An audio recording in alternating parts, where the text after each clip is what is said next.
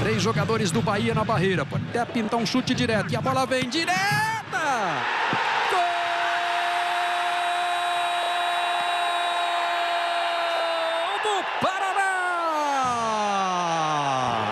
É dele! É de Rafael Costa numa cobrança magistral de falta. Ele deu uma espiada, o zagueiro estava esperando o cruzamento, mas ele viu o campo aberto e jogou na medida, longe do alcance de Douglas Pires. Um para o Paraná, zero para o Bahia. Aos 26 do primeiro tempo, Rafael Costa. E diga-se de passagem, começou, tudo começou numa falta muito bem marcada.